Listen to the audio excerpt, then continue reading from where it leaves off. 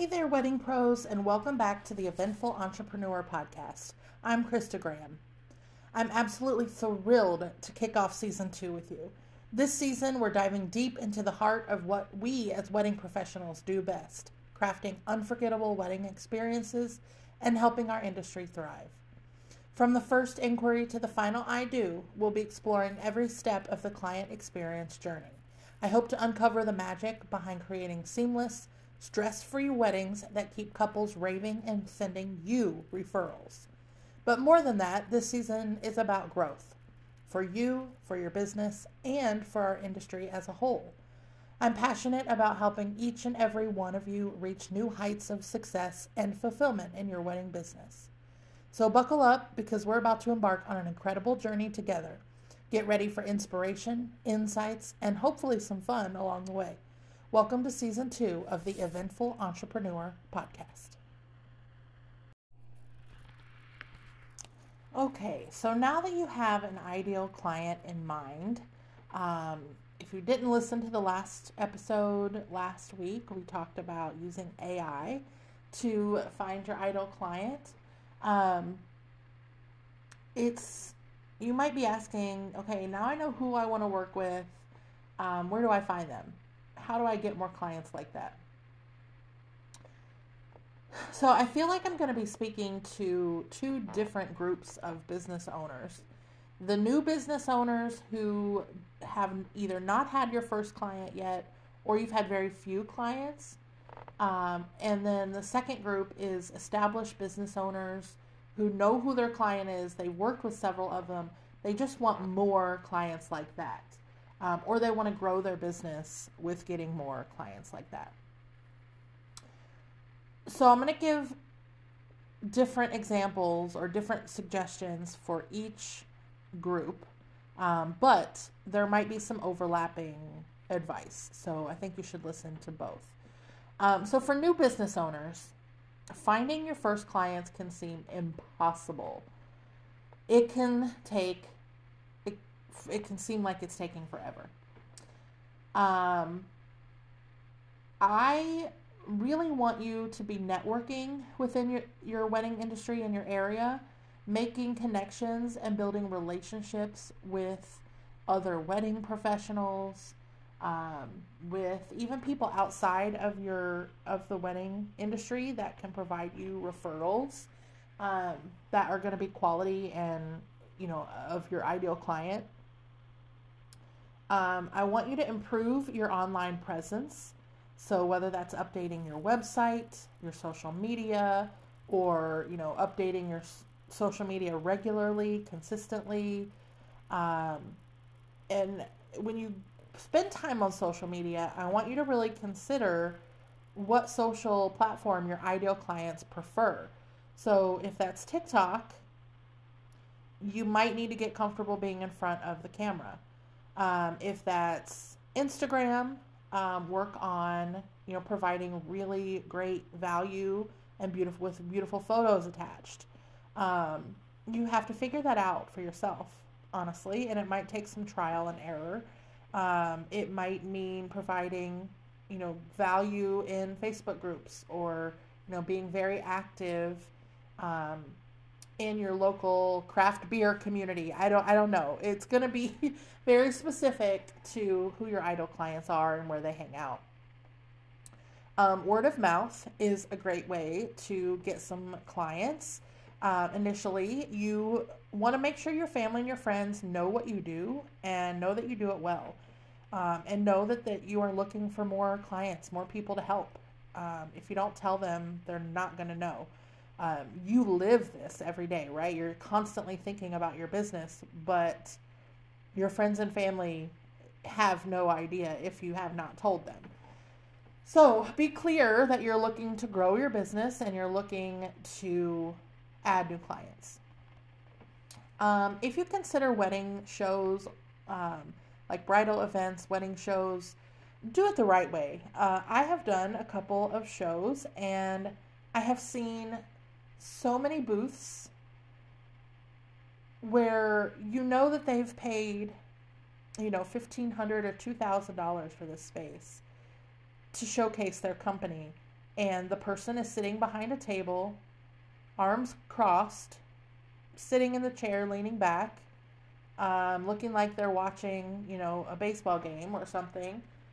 Instead of standing up, walking around, engaging with people, laughing with people, introducing themselves, um, not only to the clients walking by, but if it's kind of a, a lull in activity, talking with fellow vendors, um, just out there networking and being friendly. So if you're going to do that, do it right. Okay. It's a waste of money if you're not going to do it right. Paid advertising is always an option, uh, but I want you to evaluate and really, really see if it's worth it. Okay. I had the opportunity to be involved in, I think it's called the Detroit Wedding Show or something like that.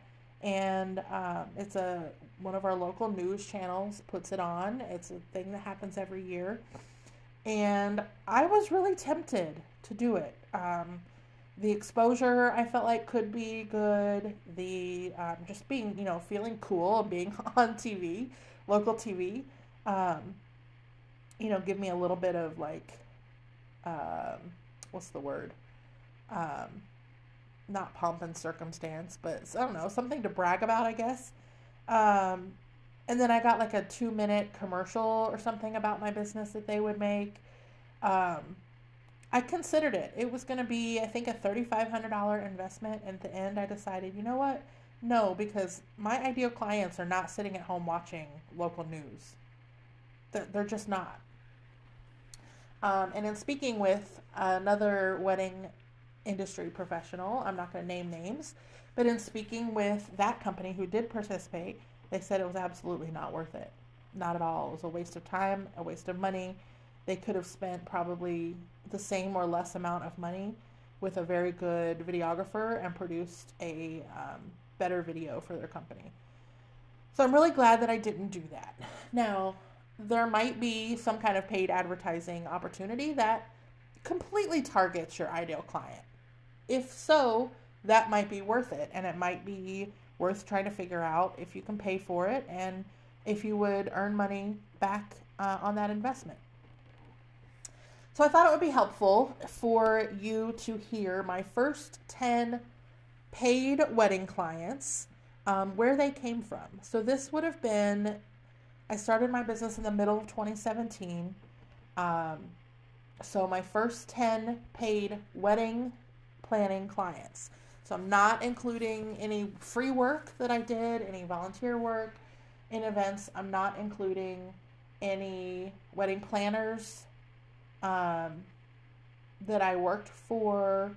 Um, the, these are actually my first 10 paying wedding clients. Okay. The first one came from Craigslist. Do you even know what that is? I don't even know if it's still a thing. Craigslist was an online like forum where you could go and all sorts of things. You could post services available, things you were selling, um, if you were in search of things. Hell, you could even post that you wanted uh, an escort for the night or find somebody to spend the night with you. Like it, you could find everything on Craigslist. Um, so my first client came from a simple ad that I put on Craigslist that I was a new wedding planner offering offering my services.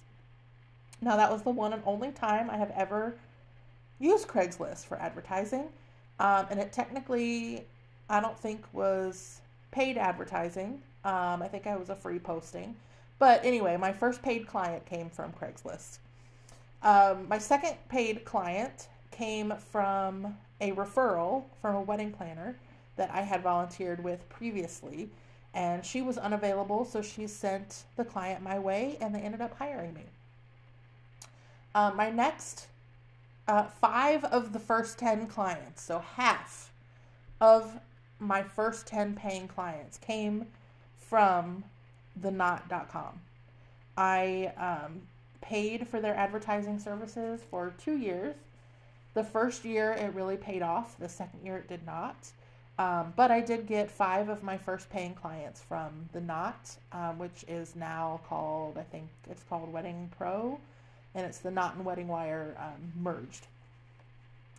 Um, another paying client found my company on Google. Another one was a venue referral from a venue that I had worked at previously, and they were impressed with the job that I did. And then another client came from um, industry network, excuse me, industry networking.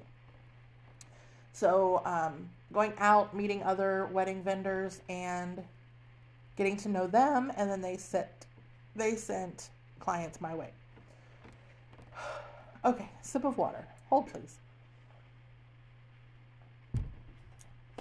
I don't know why my nose always runs when I try and talk, and then it sounds like I'm sick. I'm not sick.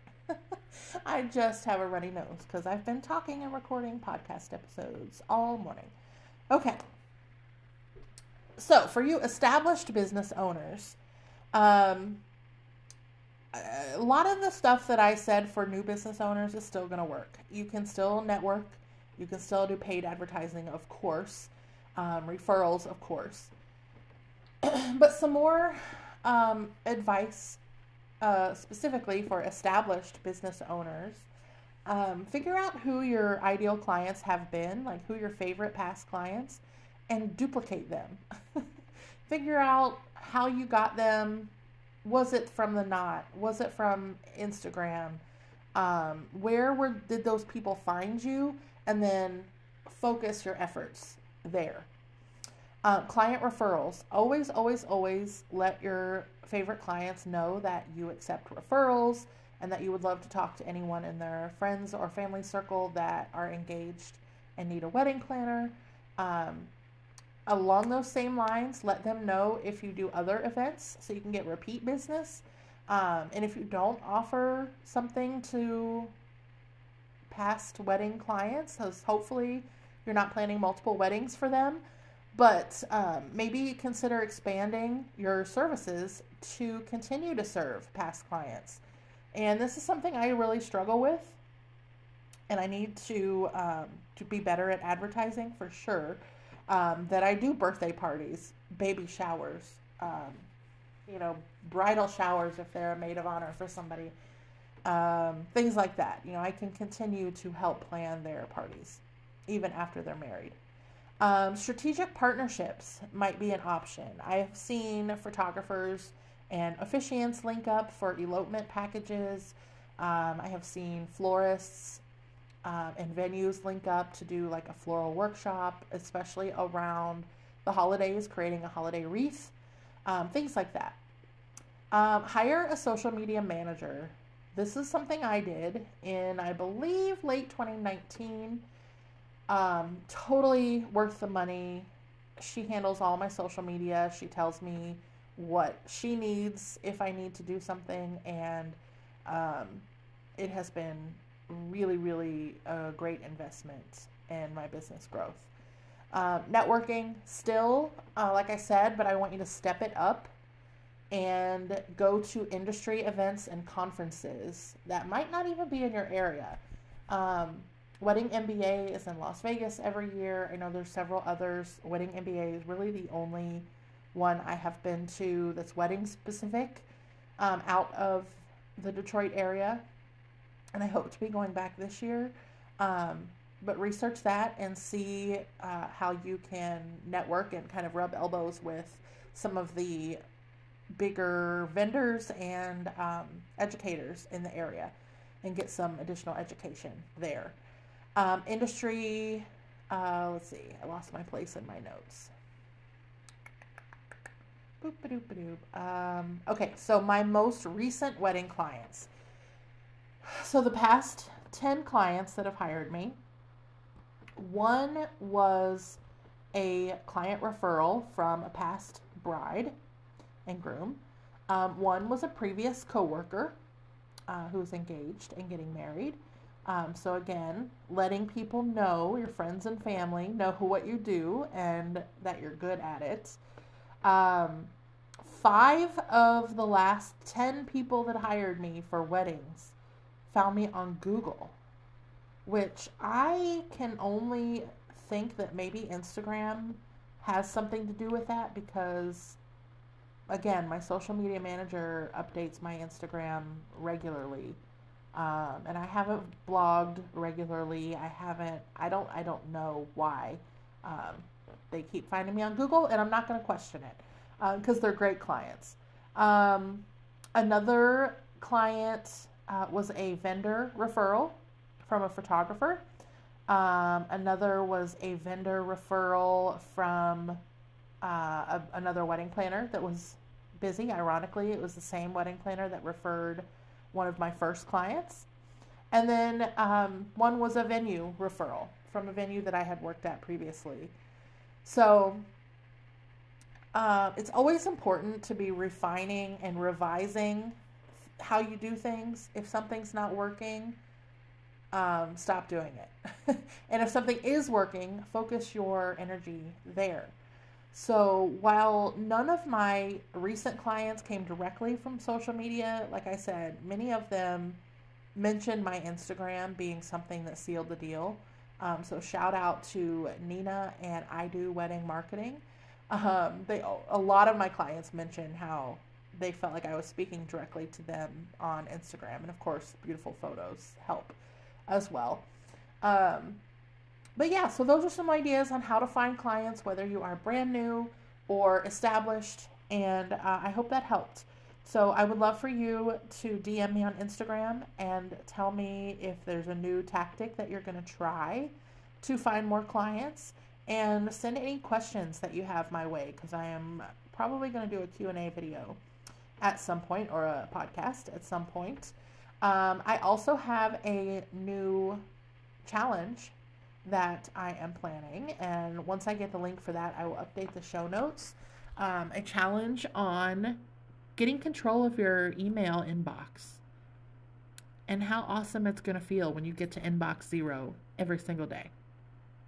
All right, I will see you back here next Wednesday, and we're going to be talking about um, how to craft an authentic about me story.